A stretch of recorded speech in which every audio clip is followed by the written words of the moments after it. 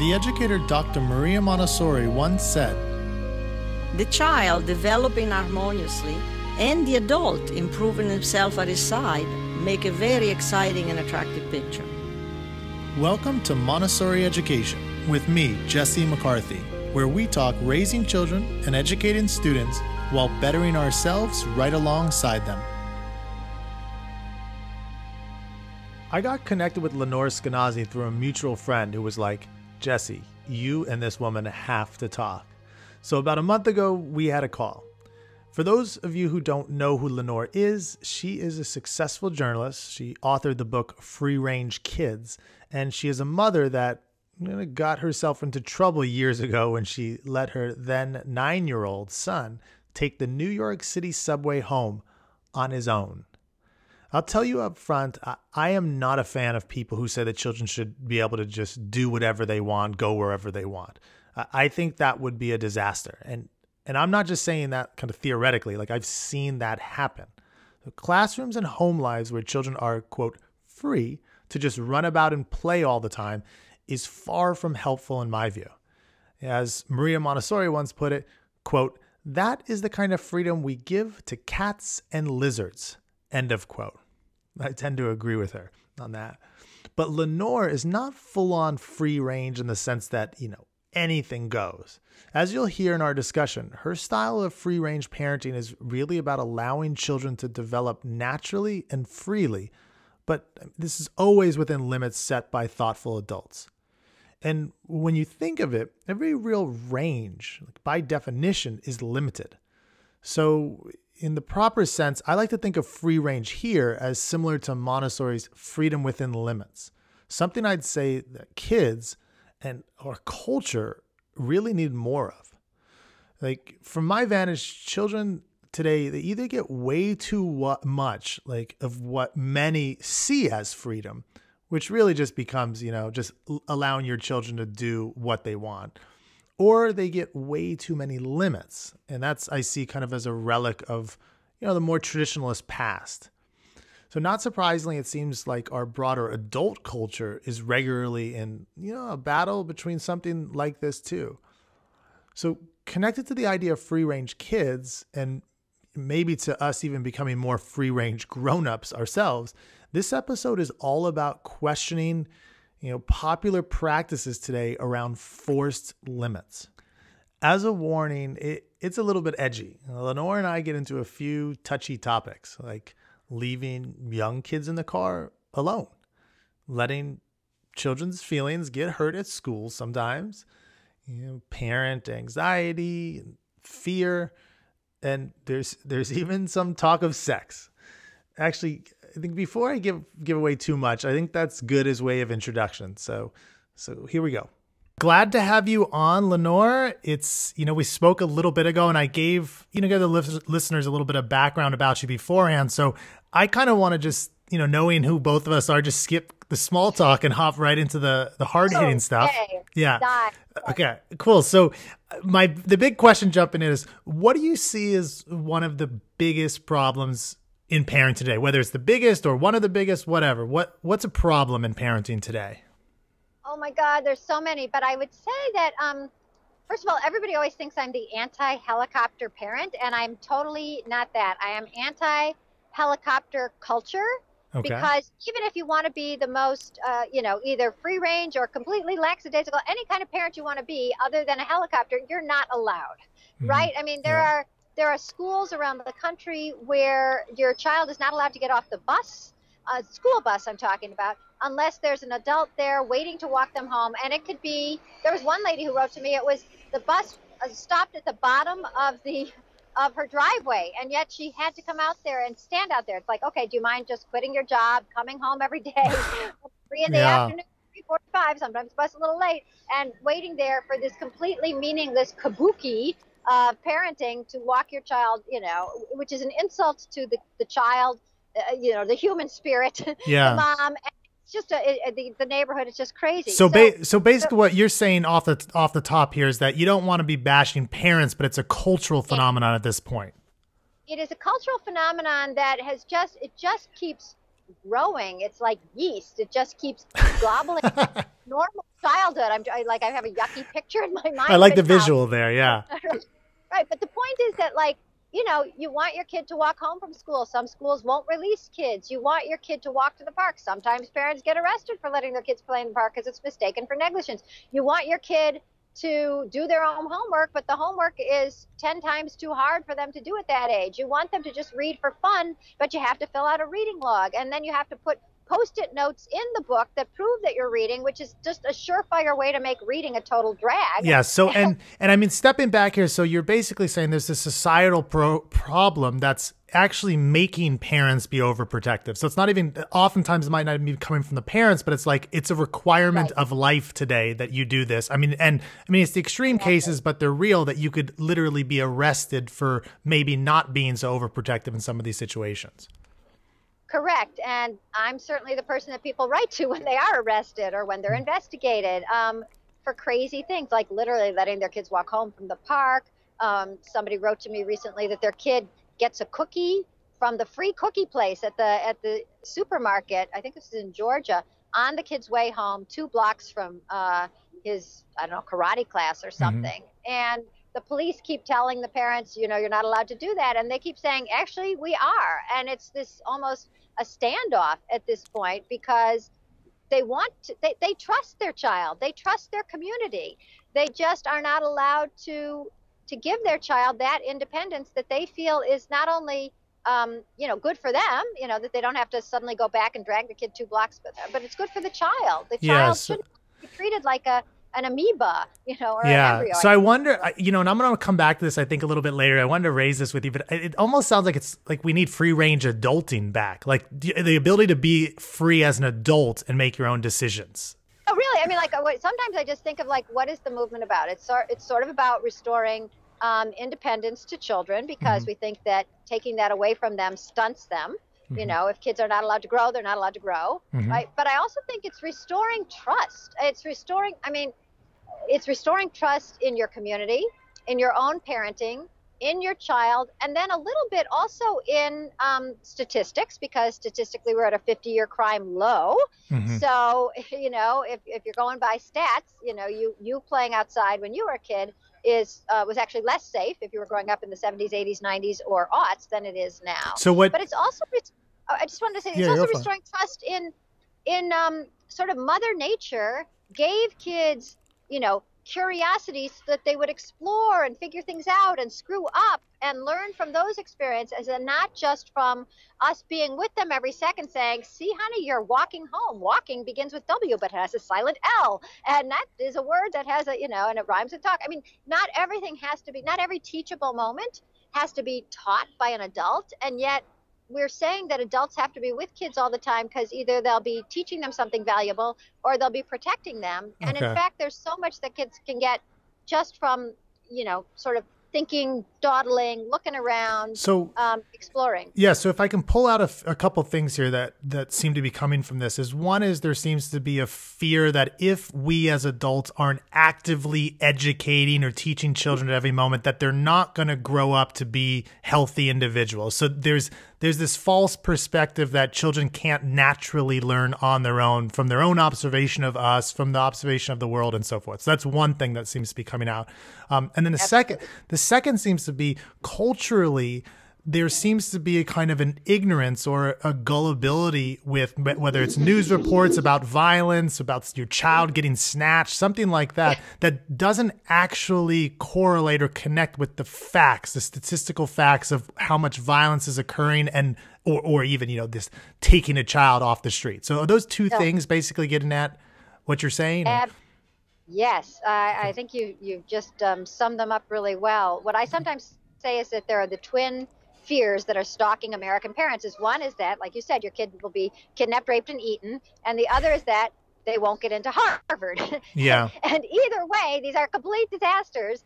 That therefore you must be with them every single second of the day, either you know supervising them so they're safe, or um, putting them in some structured program that will give them a leg up, and so they're not wasting any time. You know, Yeah. not a minute.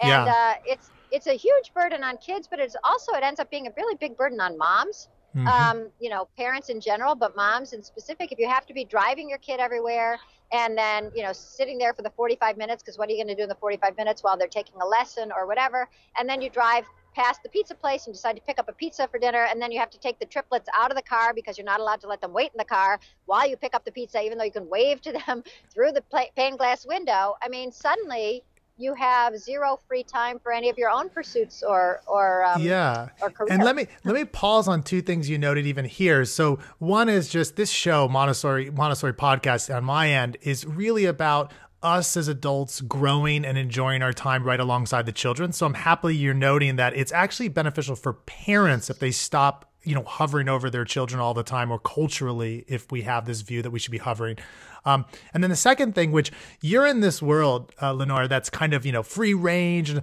so i got to step back and say i think what you just said about leaving the triplets in the car is going to be pretty radical to a lot of parents today although it seems yeah. like oh yeah leaving in the car.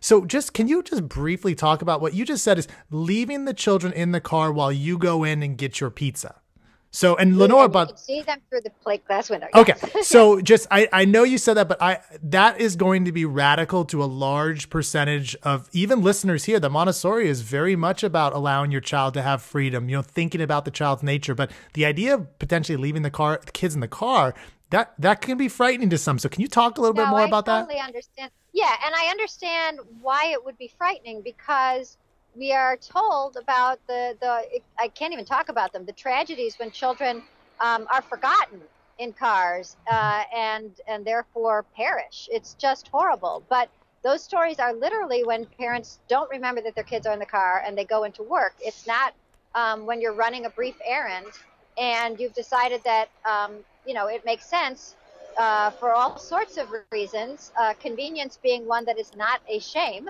Mm-hmm.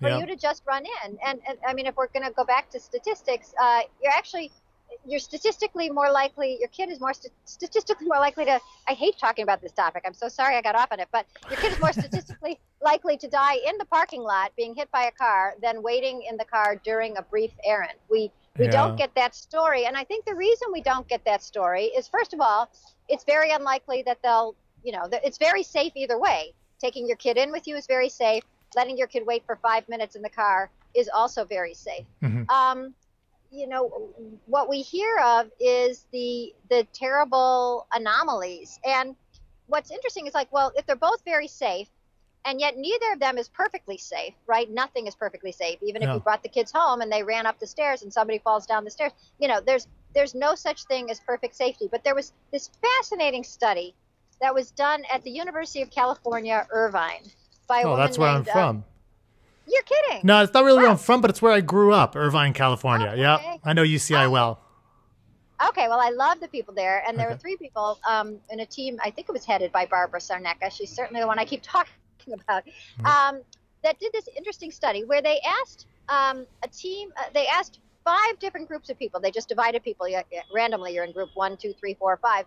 Um, about different scenarios, and one of the scenarios was um, a, a more more scary than mine. Because mine was just a five-minute story we were just talking about. But um, a child is left in the car for half an hour and they told the first group of people, group one, that the kid was left in the car only because the mom was dropping off a book at the book drop and she got hit by a you know by a Mack truck and was knocked out cold for half an hour and that's the reason she couldn't get back to the car Mhm. for half an hour. Group two was told, you know, these these people do not hear what the other group is hearing. Yeah. Group two was told the mom had to do something for work and it took her half an hour. Group three is told she's exercising, four is volunteering, or I don't I don't know the order of that. And five is she was going to meet her lover and she met her lover for half an hour. Okay. And they asked each of these groups to gauge um, what level of danger they thought the child was in. Mm-hmm. And the group where the mom was knocked out cold through no fault of her own, they put the kid in like a five, you know. Okay. And then the Out of what? So what's the five? uh, five out of ten. It's I'm not giving you the exact numbers. It Okay, but it it was- generally ten would be a ten would be the highest danger. The highest, Okay. right. So five is when she was knocked out cold. Okay. Um, when she was working, it was a six. When she was doing something else, it was a seven. When she gets to the, you know, when she's going to the lover, people gave it a ding, ding, ding. It's a ten. Yeah, It's a 10. that's crazy. I want to see this. Well, what was so interesting about this is that clearly you're. you're Oh, by the way, yeah, Lenore is actually walking the streets of New York City as she's speaking on this. Funny enough. So. mind you. right. right. Not for a living. Lenore, this is why it's this is one of the reasons why I'm having Lenore on because she's like she just straight up says that. That's pretty funny, Lenore. so anyways what i wanted to say over the Oh, we should hold up. Yeah, hold on. Let's let that pass because it's it's drowning you Right. out a little. okay so people people were giving their um, they were only gauging the level of danger that they thought the child was in. But it went from five when the mom wanted to get back to the kid to 10 when the mom was doing something sinful. Yeah. and so really we were morally judging the mom. And going from there the, our moral judgment clouded our danger judgment. Yeah.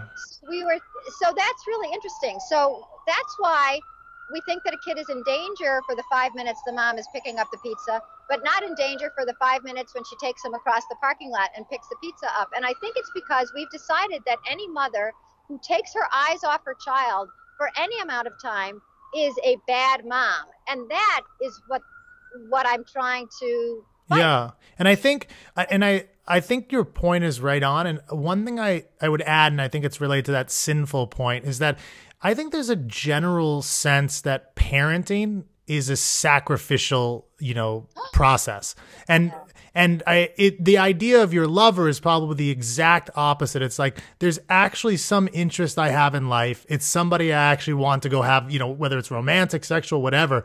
Um, assuming you're not cheating on somebody and doing something ridiculous, but you know, it's something you really want in life, and that's the worst because you're really going after something that's enjoyable for you versus sacrificing your time, your enjoyment, and everything else for your child. Now, I don't think they have to be one or the other, but I think that's kind of how it's been put in life for for many of us. Um, so Right, I don't. So that's why I totally agree. And there's a really neat book written by a woman named Kim Brooks. Okay. Um, and I don't want to talk about cars the whole time because it's it's totally you know some people you know will will see this as just a, an automatic like let me turn off Lenore she's crazy and Yeah.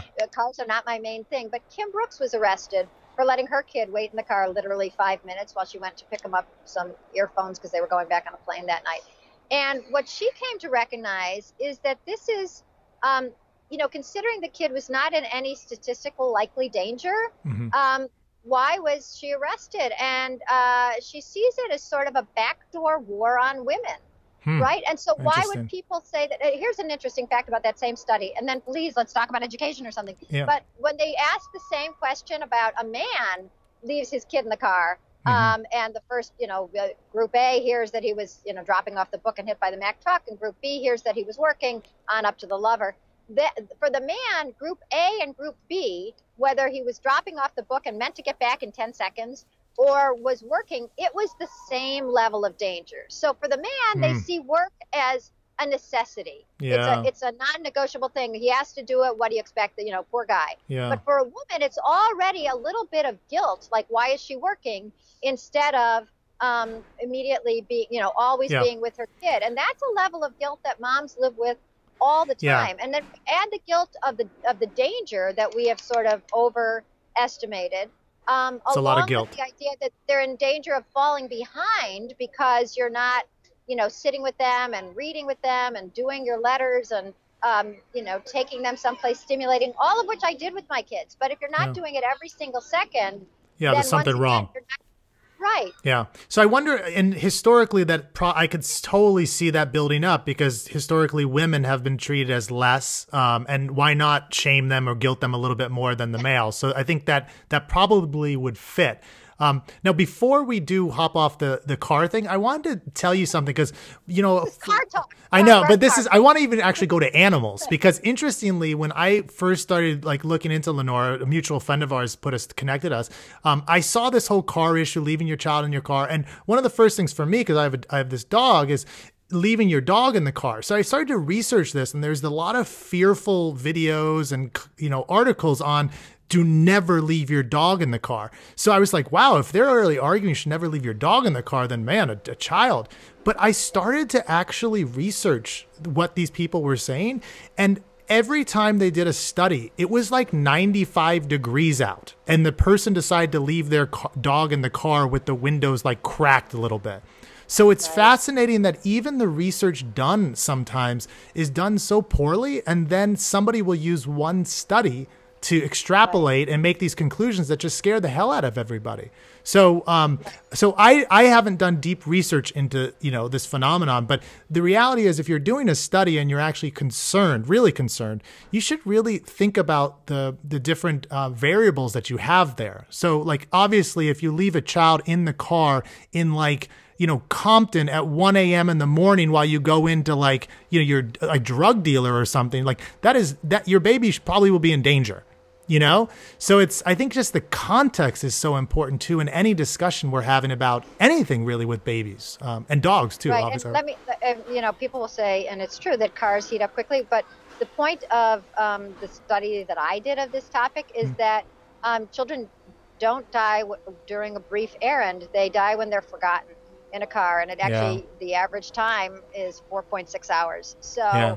yeah. Um, and by the way i I want to just go for it. I would just want to say it's up to the parents. I mean, if if you know that you're going in to get um, muffins for your kids, or you have to pick up something for work, or you're picking up supper, um, and, and you know that this is, you know, you're not going to go into the dry cleaners and and then, oh wow, you know, I maybe I should become a dry cleaner. Can I spend the day, you know, shadowing you? Forget about your child. Yeah, yeah, yeah. That, yeah. That's probably that's that's extremely unlikely to happen. And yeah. knowing that you're just going in, getting something and coming out, that should be up to you. If you don't feel comfortable doing that, if you're scared for your child or you don't you just don't want to do it, don't. But yeah. if you feel like it's okay, parents make so many decisions on a seat of the pants basis all day long, you know, your your your wife's car breaks down and so you have the you know the seven year old is home with a cold and the five year old is there. Do, do you leave them there for 10 minutes while you go to the to the train yep, to pick her up yep. or not? I mean it should be up to you. It should not be up to somebody who has a you know other Some people bureaucrat can, or something. they would right that they other people can do it completely differently. I mean that's that's the great thing about freedom. We're free to choose. But if you're not literally leaving your child in true statistical danger then um, let's not call it danger. Yeah, yeah. And hold, you know, Lenore, hold on one sec, because I'm hearing the now I'm hearing the vacuum cleaner here, and I want to make sure it's not picking it up so crazily. So, um, okay, hold on one sec.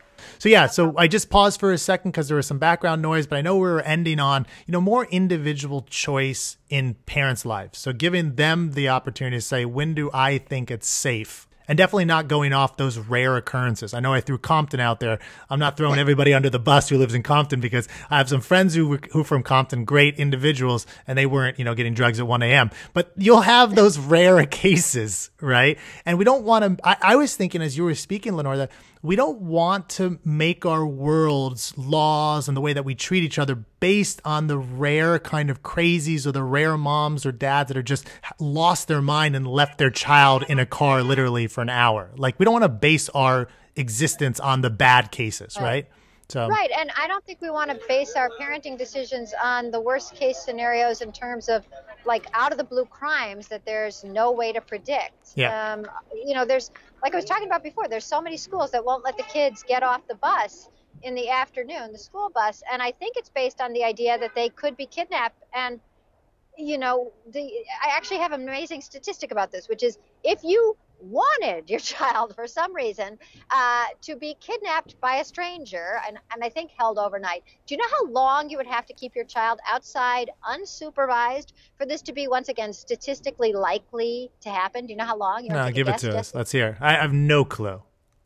You don't want to just guess wildly because you'll guess wrong and then I'll be able to laugh. I don't want to over, I don't want to overdo it. I don't want to underdo it, but I would say it's probably, you know, hundreds of hours, if not, you know, years, but I don't know it's more than hundreds of years. It's 750 there you go. thousand years. so it's actually an impossibility, is what you're saying. well, it's not an impossibility, but it's sort of like the, the winning Powerball ticket. Yeah, you yeah. Know, it, just because something extremely rare is going to happen, do you you know you you can't base your life on that, or really you would never be able to feed your kids solid food. Yeah, because the fear. and you can't. Right, yes, and I wonder. you know, and I wonder because you've been talking, you know, we've kind of gone deeper or the higher altitude here on this show. And I wonder if a lot of this is, again, coming back to the way that we were even raised or educated ourselves to not understand statistics and not understand how to think as adults or as human beings. Well, uh, two things. First of all, I just have to give a shout out to Montessori because I've spoken at, at a bunch. Uh-huh. And once when I was at one of the Montessori schools, it was in Napa Valley, somebody sat down and showed me how you guys learn math. And I think that if anyone understands statistics, it would be you. Yes. it would be. Well, I would know, say- kids who grew up Montessori because they really do. They, they taught math so much faster. Yeah, and I was I was kids learned it. And I was going to ask you about Montessori a little bit later, but my thing is, you know, as much as we're trying to promote and get Montessori out there, um, us as adults, most of us did not have Montessori, so we didn't get that that math material that you're referring to. So we're a little bit more uh, ignorant.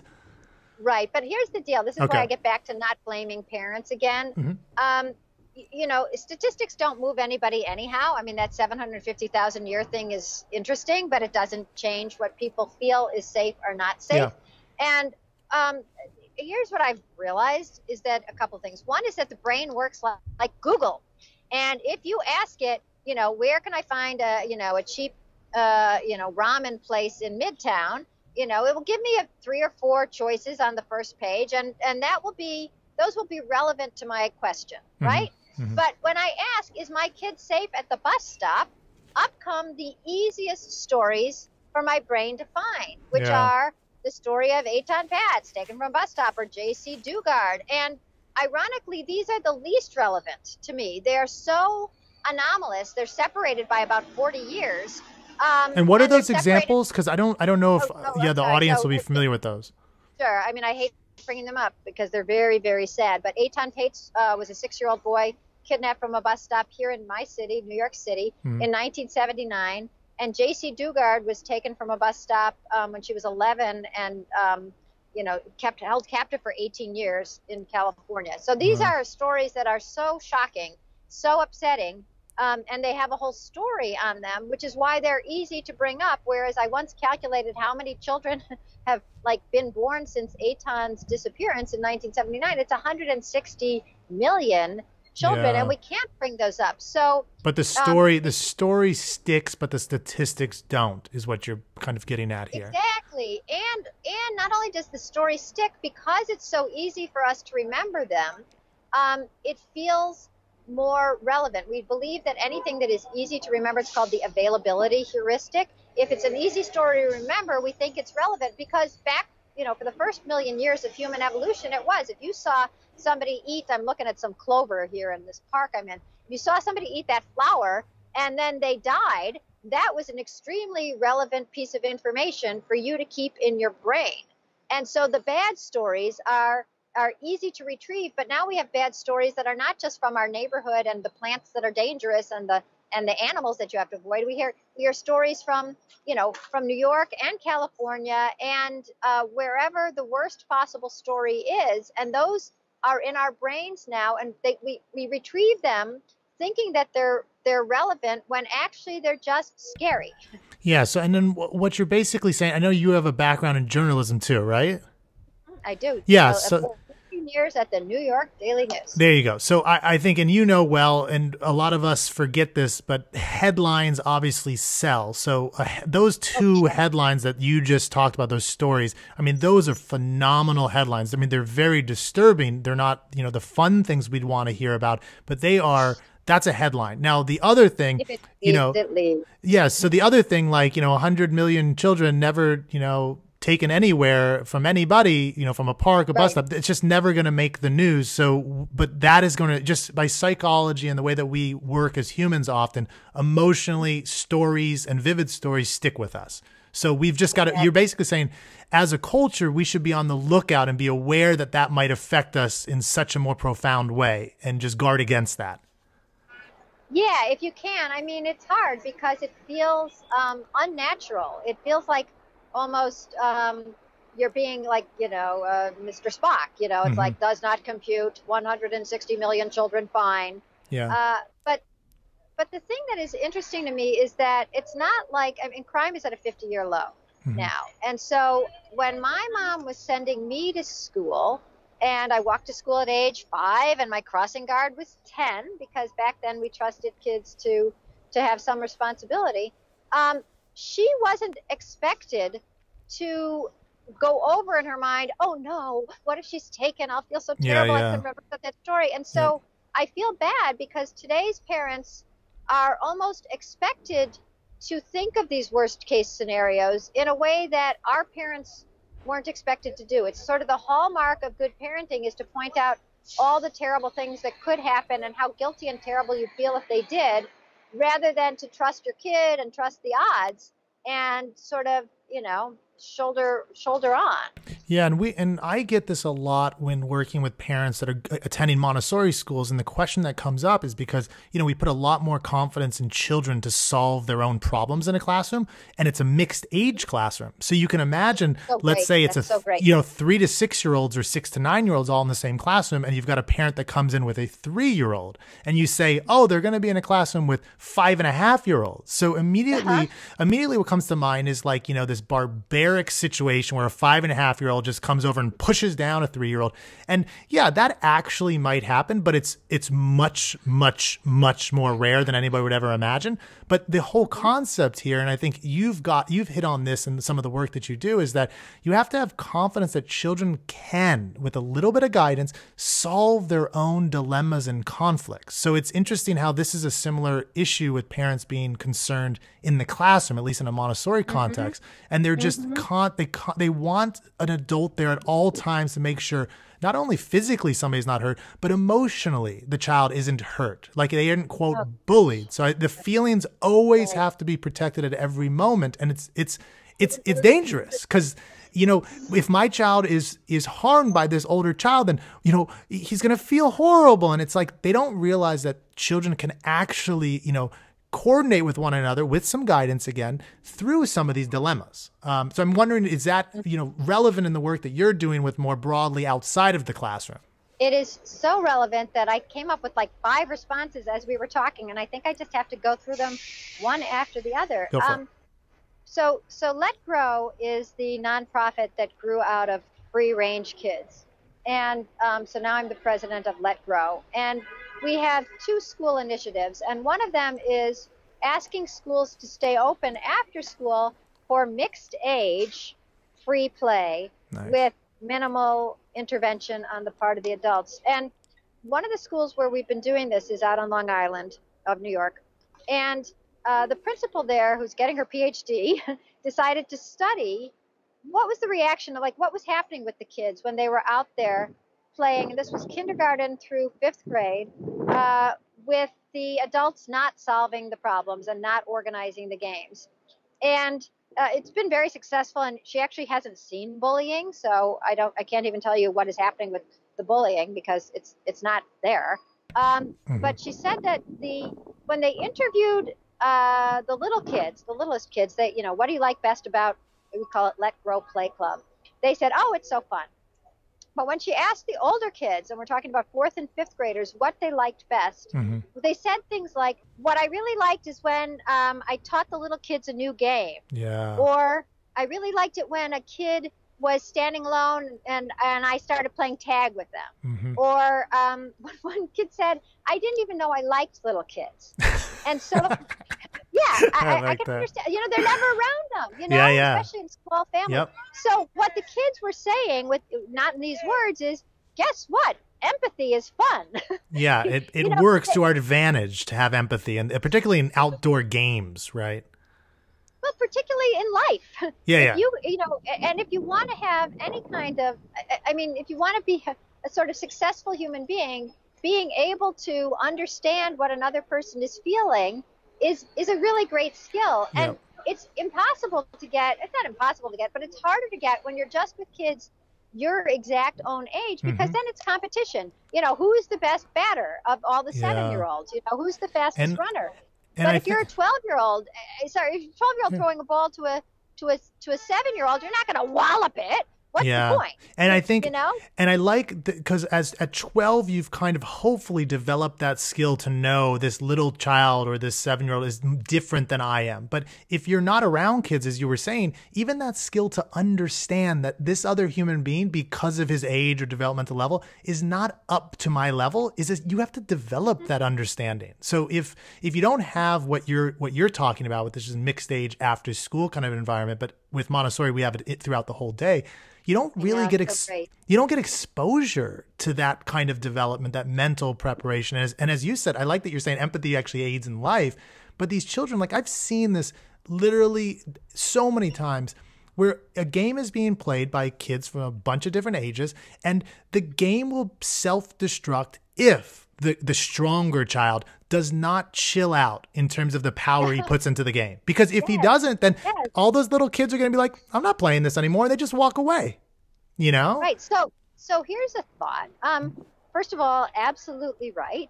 Secondly, um, you know, we talk a lot about bullying, and this is just riffing here.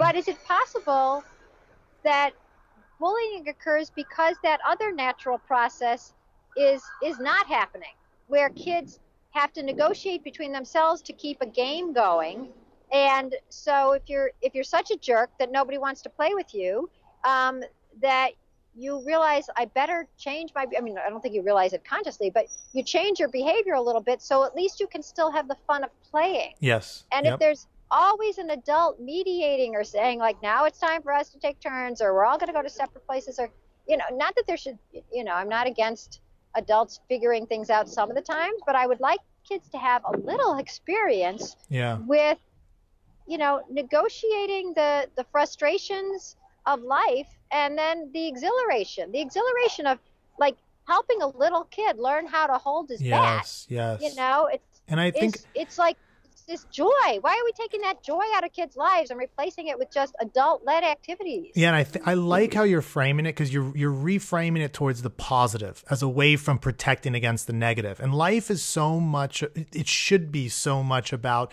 how much positive we can have in our lives as opposed to the whole focus is escaping bad.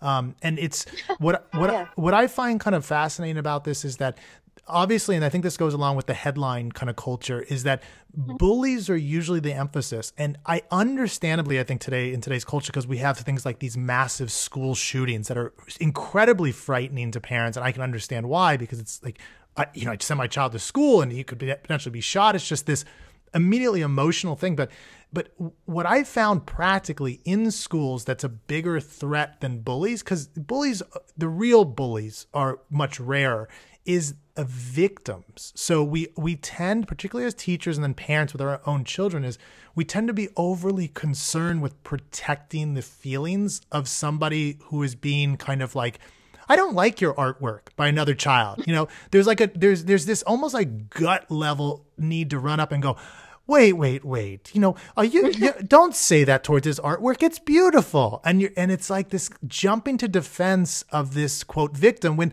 it's not really a victim. It's just children talking with one another, and they have to figure out what works best, as you were kind of getting at. Right. You know?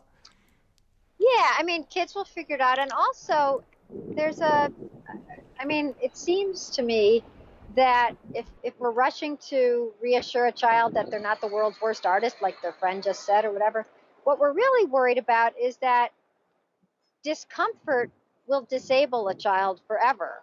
And so we better um, quickly make it disappear. Otherwise, they're going to be, um, you know, traumatized uh, to the point of not functioning as well as Yeah. just not functioning. And Yep. that is a real insult to the human spirit.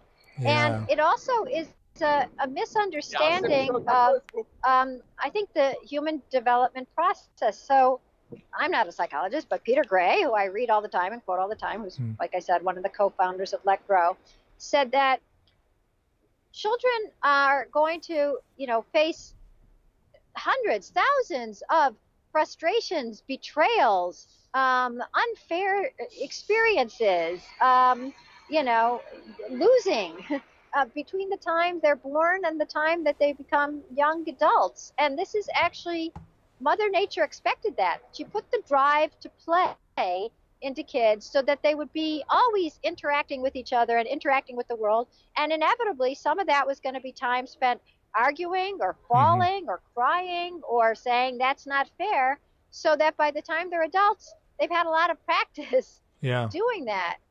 And um, jo- so Jonathan Haidt, who wrote, who's a co-author of The Coddling of the American Mind, which is a really popular book right now, is another co-founder of Let Grow. And if you'll let me, I'll just give you the, the, the analogy that he keeps giving when I've, I've, heard him speak so many times. He said that there are some things uh, that are fragile, that truly are fragile. If you drop a wine glass on the ground, it shatters, mm-hmm. right? Okay, fragile. There are some things that, like a like a plastic cup, you drop it on the ground, you pick it up, and it's resilient. Okay, it's it's fine. It's no worse for the wear, no better, no worse.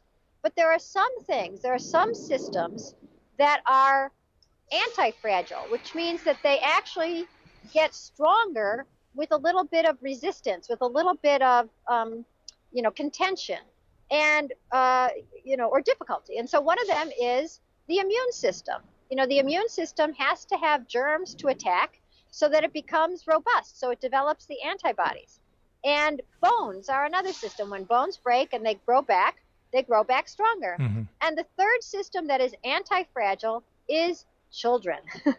and that means that they have to, you know, lose and they have to get a bad grade sometimes and they have to be mad at their friend and they have to be, you know, double crossed uh, and they have to fall, literally fall. And and when they do and they start developing the wherewithal to get back up or to make up with their friend or to go do something else or to practice harder so that they don't lose next time all these things are great. And when we take out all the discomfort, the frustration, and the losing out of their lives, we're not letting them develop. Just like if yeah. we raised children in a bubble and we expected them to have a robust immune system, they wouldn't. You'd take them out into the world and they would die of TB or whatever. Yeah. So, and it's interesting listening to you talk. I mean, so Lenore is not, you know, a Montessorian, but I think one of your the actual co-founder your, or executive director is has her children in Montessori. Is that correct, or her child? That's yeah, that's correct. She has okay. four year old. So it's it's so it, you know, listening to you, it's like Montessori deliberately created a classroom, and I say this often on the podcast and just things that I do is that they that gives children uh, uh, offers an environment in which children have those challenges and they they're thwarted you know? But it's just right at a level in which it's not mm-hmm. too far of a reach because obviously mm-hmm. you know if you give a child too much of a of a fall i mean the physical analogy would be like if he fell off a cliff like you don't want that fall. That's but, a bad you know, idea. Exactly. So but lenore's basically you're putting forth the idea that you have to have these smaller falls and then you start to develop a sense of oh yeah i, I can fall but then i get back up because because I can keep going. And at the end of those falls, I can stand and, you know, whatever activity they're doing. Um, right. And it's funny listening to you. I just, there's a buddy of mine who's like this professional mountain biker, really serious. And he just posted a picture of himself. Like he's got, he's got these bars in his leg now. He's in the hospital and he just, oh, no. He, no, but it's not even bad. Like he's got a smile on his face. I mean, this, when you're a professional biker, it's like you have falls and then you just, but he says in his picture, he says, you fall seven times, you get up eight.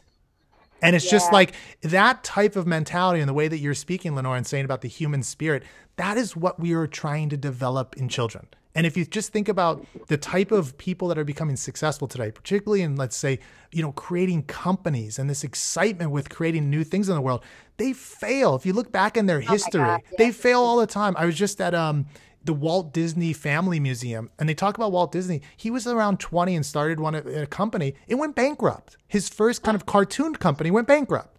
And and he wow. his response to people that are like serious, he says, "Yeah, I'm just I'm a, I'm an experimenter." And it's like that's yeah. we want to be raising experimenters. Like obviously we're the guides and we're there in case it's too extreme and we set up an environment, but as you're saying, you got to get children out there to actually experiment, get out in the world and and fall a little bit right? So, um, so I really appreciate the kind of the approach you're taking, particularly because it's rare that I hear the positive approach to life, as opposed to we're trying to again we're running away from the negative, and I really appreciate that. So, oh, I'm glad. Um, yeah. So let me. So can I just tell you the other project? Oh yeah, yeah. Sorry about. It. Go for it. Go for it. Okay, yeah. so there's the Let Grow Play Club, which mm-hmm. is you know, uh, the the free play before or after school, where there's an adult on the premises, sort of like a lifeguard at a pool. Mhm. You know, they're not organizing the games, but they're there in case there's an emergency, and it gives kids this chance we were talking about, mixed ages, come up with their own games and have fun. Um, the other project that we're doing is called the Let Grow Project, and it is simply this: it is um, all the teachers tell all the kids in the school that their homework for sometime in the next week is to go home and do something on their own without their parents. Yeah. And um, yes, it's partly for the kids because then the kids decide, you know, I'm going to rake the leaves, I'm going to run an errand, I'm going to, you know, walk to the park, I'm going to get myself to the bus stop, whatever they decide.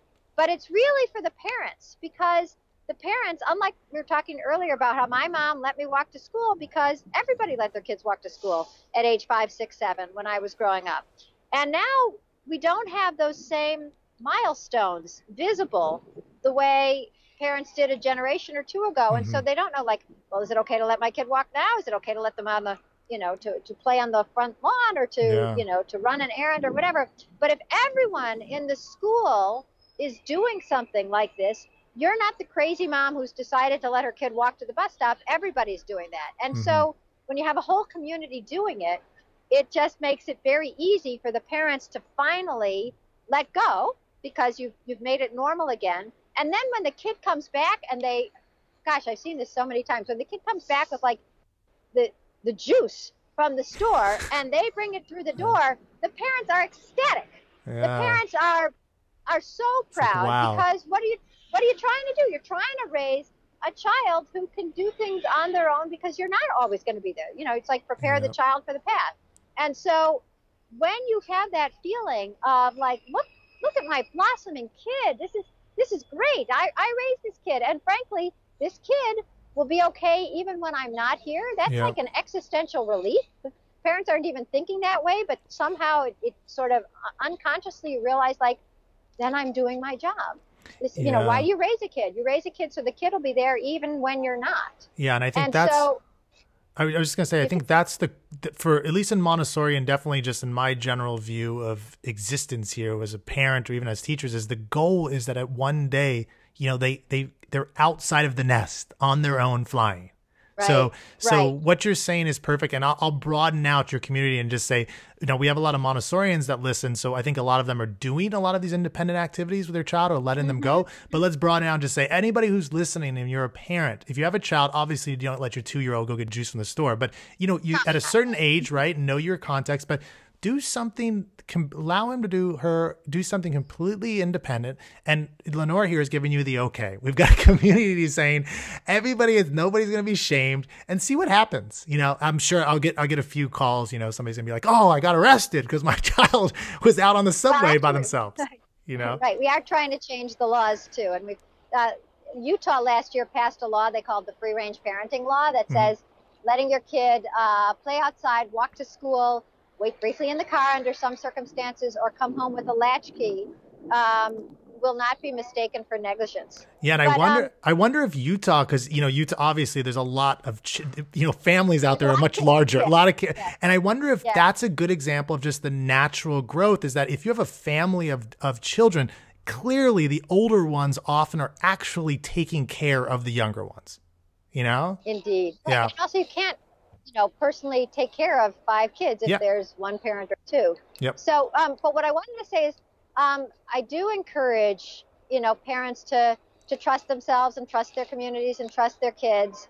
Um, but I do think it's really hard if you're just doing it alone. So, Mhm. um, doing the Let Grow project through a school is much easier. You just have to, you know, it's a community problem. If you're the only person sending your kid out to the park, they're going to come right back anyhow because it's so boring. Yeah. But if everybody is sending their kids outside, that's a different thing. And and one thing I wanted to say is, so if, if your school doesn't do the Let Grow project immediately, um, what we're hoping is that people will come to, um, you know, either our website, which is letgrow.org. We're we're totally nonprofit. We don't make any money off of any of this.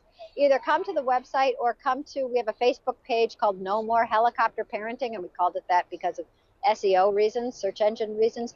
Um, but at least there you can talk to other people and say like, you know, I want my kid to play outside, but I can't get him off the couch. Yeah. Or, uh, you know, I'm, I'm thinking of letting my four year old play in the front yard. Is that too soon? So it's just so at least you have a community online if you don't have a community in your community. Yeah. um, doing, you know, thinking about these ideas and, and um, giving their kids some independence. Great. Well, I'm happy you're giving some people some resources here that might aid in uh, in their own, you know, communities outside of outside of where you are? Because I know, are you doing a lot of this stuff locally, or where have you? You're just doing it everywhere. Oh my, everywhere. Everywhere. Oh okay. my God. I've, yeah. I've, you know, I've been so, to Australia twice. Yeah. I feel like yeah, like hither and yon. Yeah. So an, an interesting by on on a quick side note, you know, she Lenore has been mentioning helicopter parenting, and I've seen you know this word has been all around. And I've mentioned Haim Ginott, who's a hero of mine, but he actually mm-hmm. originated that term, and I just you know right. it's it's hard. I'm trying to get this out there because Haim Ginott to me is just one of those amazing individuals, but that term and that just whole perspective is is relatively new. That's not a old school thing where or in, in history where a lot of parents are overly protective of their children. It's a it's a relatively new development, which is fascinating in itself, mm-hmm. you know?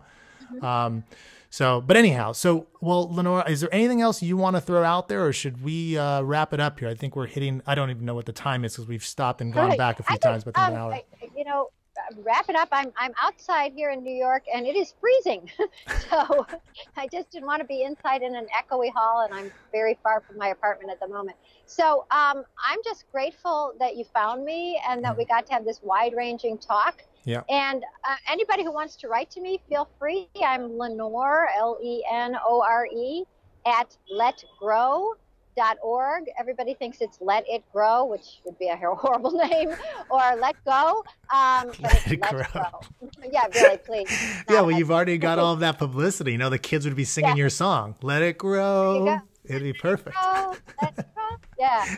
nice, but yeah, and I'll put up I'll put up a link on the page to uh, to that site as well, so you can check. Everybody can check that out. So. Oh, thank you, Jesse. That's yeah, yeah. great. No problem. So, and good talking with you. I'm I'm happy we did connect. You are you got a lot of knowledge, but you're also just a straight shooter, which I I love. You know, I don't. Are you I from? Try. Where are you from originally? The suburbs of Chicago. The suburbs Wilmette, of Chicago. Illinois. Yeah. Okay. Okay. Cool. Well, I was just interested if there's any kind of you know cultural influence on how you just like keep it real. You know, I don't know if that was in your environment uh, or you. Westerner, you know, what can I say? But I, I don't know. I, I don't know. Now I think I'm in New York. I don't have any idea. Yeah, yeah. yeah. and how long have you been living in New York? Oh my God, like 30 years. I'm curious, are you seeing young kids walking the streets of New York during the day or no? Or what, what's that environment like? I'm looking around right now. Uh-huh. Uh, well, downtown, it's not really a. Yeah, that's fine. Uh, no, you know, I mean, I let my, you know, I let my nine year old ride the subway by himself and I wrote a column about it and that was what was, you know, it, it's not that common. It's not completely uncommon, but, yeah.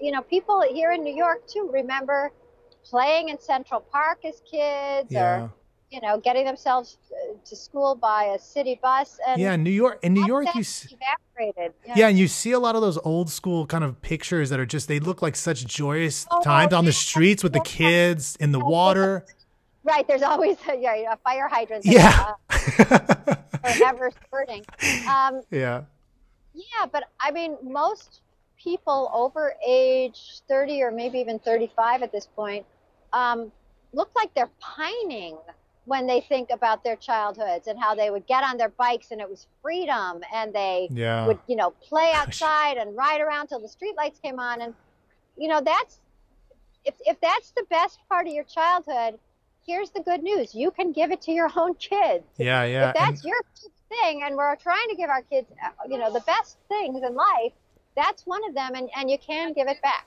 yeah and i think I, I, I think that's a good way to end and i'll just add on that that we need to give it back to ourselves too and i think that free range adulting is that like let us let us start taking control of our own lives and not waiting for somebody to pass a law to tell us how we should be acting in life you know Right, um, right. So, our lives, our families, our kids. Yeah, yeah.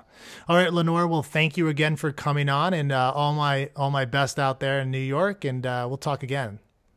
Oh, I hope so, Jesse. Thanks so much.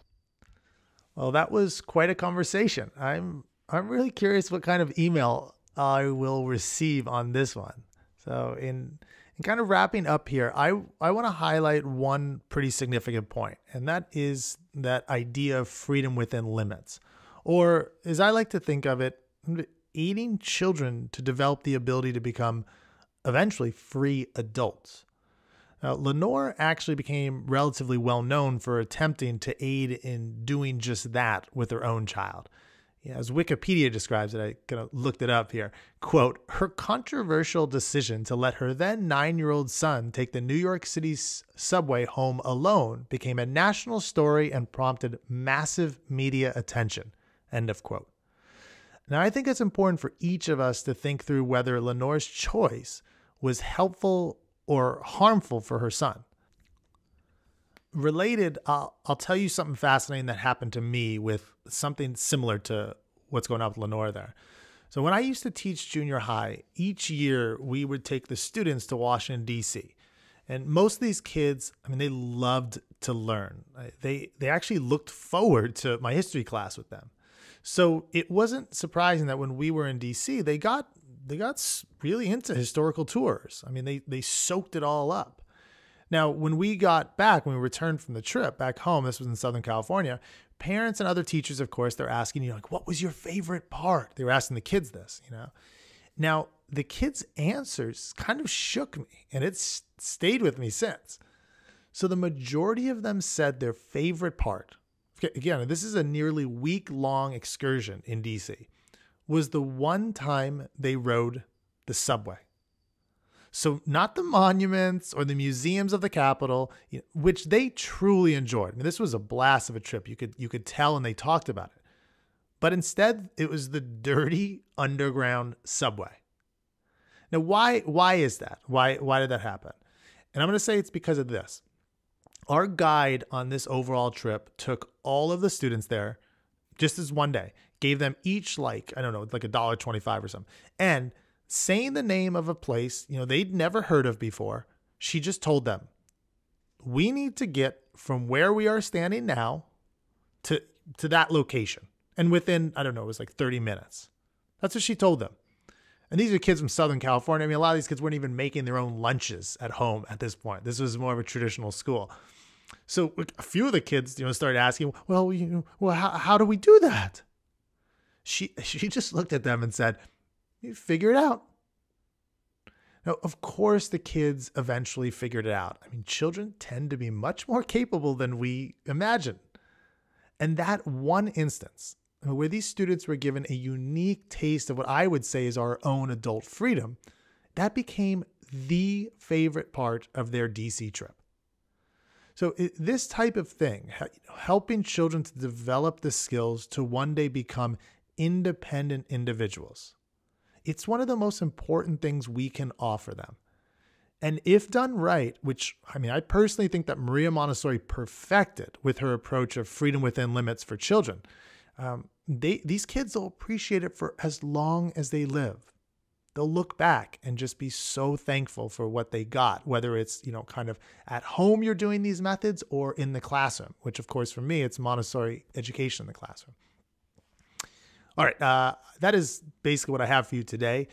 Now, if you want to meet, reach out to me with any comments, questions, you know, this episode, who knows, angry objections, who knows, whatever it is.